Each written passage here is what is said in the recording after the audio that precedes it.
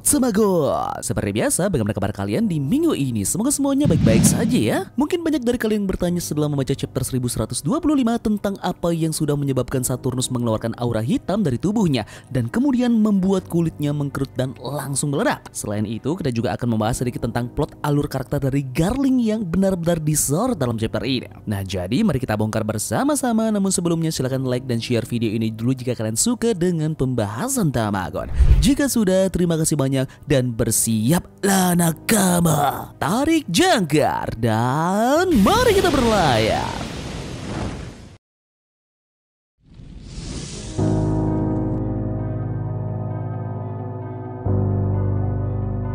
Kita akan mulai menganalisis hal ini dimulai dari judul chapternya, cara mendefinisikan kematian. Vegapunk pernah berkata apa sebenarnya arti kematian bagi orang seperti kita. Nah, realita yang kita lihat sekarang adalah Stella yang mati semuanya kembali melalui Vegapunk baru, walaupun bentuk yang kita lihat, hmm, apaan nih? Hal ini berbeda dengan Saturnus yang katanya abadi, dia malah mati seperti serangga setelah gagal menjalankan misinya. Sungguh ironi yang harus diterima oleh kakek yang menyebut lawannya sebagai seekor serangga, namun sekarang dia yang menjadi serangga yang kematiannya sungguh tragis dan dilihat oleh orang-orang. Kita mulai chapter ini dengan membicarakan tentang Serapim yang dikuasai oleh pemerintahan dunia.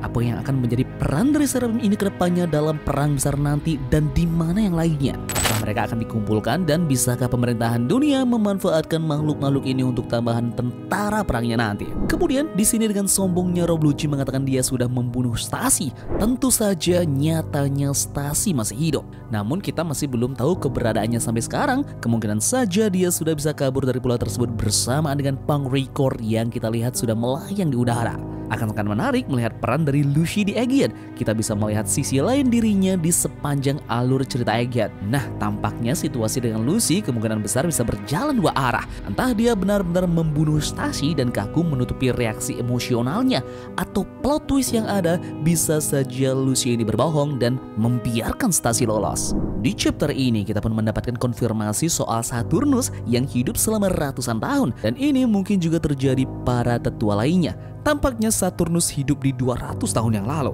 Apakah ini bisa menunjukkan bahwa dia setua Void Century? Kita kemudian melihat Saturnus berbicara dengan wakil Laksamana. Dia menjelaskan bahwa misi mereka sebagian berhasil, tapi membiarkan siaran diputar adalah sebuah kesalahan besar. Angkatan Laut di sini pun sudah mulai ragu dan sudah pasti akan ada yang mempertanyakan pihak-pihak utama yang terlibat.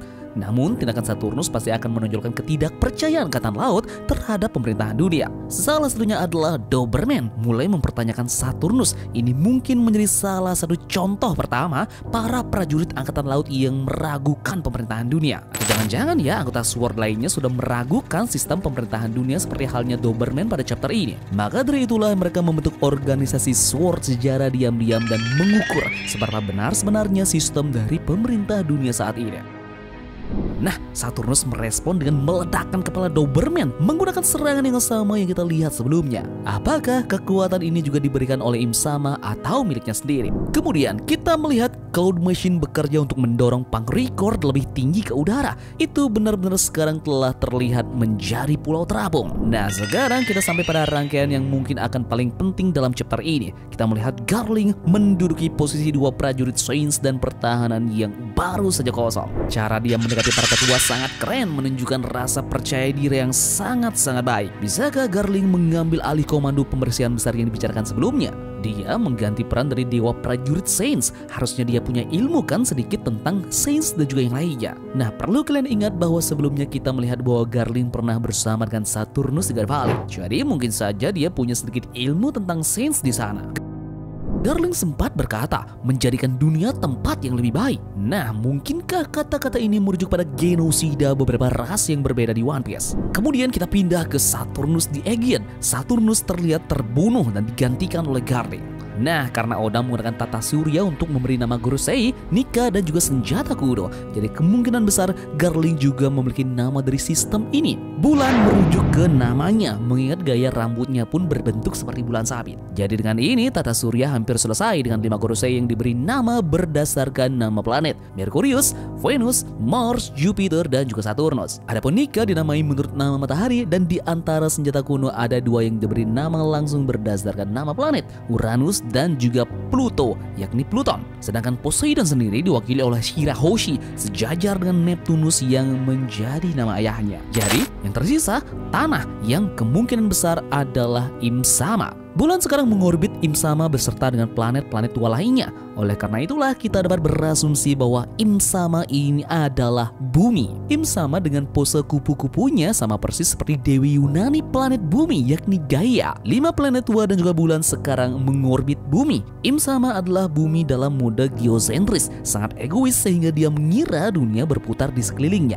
Nah, padahal kenyataannya semua planet berputar mengelilingi matahari, heliocentrisme. Jadi geosentrisme dan heliocentrisme adalah dua ideologi yang saling bertentangan. Bahkan Imsama berputar mengelilingi matahari. Desain dari Garling sendiri mungkin saja terinspirasi dari Galileo Galilei. Nah, Galileo adalah orang pertama yang melakukan pengamatan bulan secara rinci dan ilmiah menggunakan teleskop. Jadi, seperti layaknya guru saya yang lainnya, Garling mungkin juga akan mendapatkan kekuatan dan menjadi monster yokai nantinya. Apakah Garling akan berubah menjadi serigala yakni seperti si Fenrir yang mengerikan dalam mitologi Nordik? Fenrir memainkan peran penting selama peristiwa Ragnarok.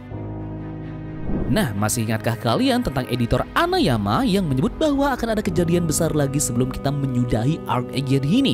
Yep, itu mungkin merujuk pada chapter ini yakni kematian dari Saturnus. Insiden Aegean sudah diramal di baju Luffy, telur retak, yakni Pangrecord yang melambung tinggi ke langit. Terlihat juga anak ayam yang mati, yakni Saturnus yang dibunuh oleh Imsama. Saturnus adalah penjahat yang sangat menjijikan dan dia mendapatkan perlakuan yang pantas diterimanya. Dia dipermalukan oleh Luffy, gagal dalam misinya, dan Imsama pun akhirnya membunuhnya seperti layaknya serangga. Seperti layaknya di Dressrosa yakni Doflamingo, Imsama membunuh salah satu anggota intinya. Keluarga Don Quixote pun lima anggota inti, tapi Corazon yakni Roshi nanti dibunuh oleh Doflamingo. Guru saya juga sama, lima anggota inti tapi Saturnus dibunuh oleh Imsama. Oda juga mengakhiri kisah dengan mencerminkan Sabaudi dan juga Aegean. Di Sabaudi, Supernova bertemu dan mereka semua melarikan diri kecuali Luffy yang dimusnahkan. Di Aegean sendiri, Guru saya dipanggil dan mereka semua pergi kecuali Saturnus yang dibunuh oleh Imsama. Nah menariknya adalah Saturnus dalam kematiannya seperti terbakar oleh api hitam atau api hitam yang keluar dari tubuhnya. Dalam agama tertentu di abad pertengahan, api hitam terkadang digambarkan dalam penglihatan tentang neraka.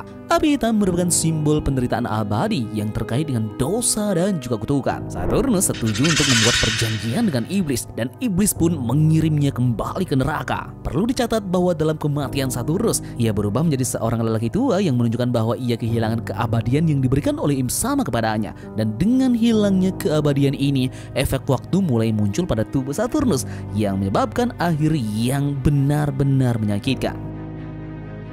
Kita ke Vegabang baru. Mereka ternyata selamat. Mereka beroperasi melalui Pangrigor yang sekarang mengambang. Nah ini mengingatkan Tamagon akan petualangan luar angkasa Enel. Mungkinkah Automata dan juga Stella memiliki kelebihan kesamaan daripada yang kita ketahui? Tujuan mereka saat ini tentu saja akan ke Waitoria. Hardas dapat membantu menghasilkan awan untuk menyelamatkan dunia.